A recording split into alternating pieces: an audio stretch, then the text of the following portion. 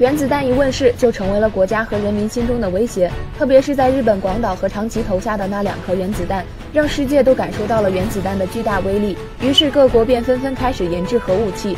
在一九三九年八月，是物理学家爱因斯坦写信给美国当时的总统罗斯福，建议研发原子弹，才引起了美国政府的注意。最后，爱因斯坦成功的帮美国研发出了原子弹。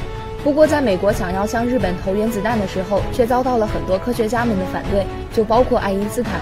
因为原子弹的后果，只有这些科学家们是最清楚的。他们研制核武器，只是为了能够让国家有了安全保障，而且最开始也是为了使德国投降。不过，在原子弹还未研发成功的时候，德国就投降了。二战中，日本的种种暴行让各国都恨得牙痒痒。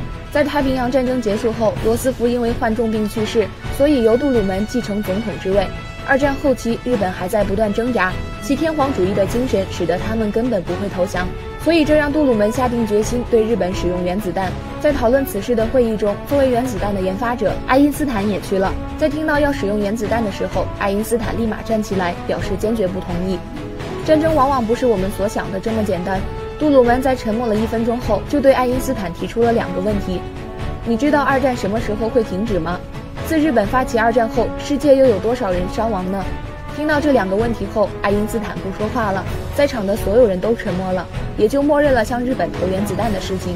不过，爱因斯坦还是为日本民众求了一个情，那就是先告知他们要投原子弹。当时在日本上空撒下的几十万传单，清清楚楚地写着美国会对哪些城市进行原子弹轰炸。不过，因为日本深入人心的天皇主义，加上他们的侥幸和不相信，所以才会造成了那样的后果。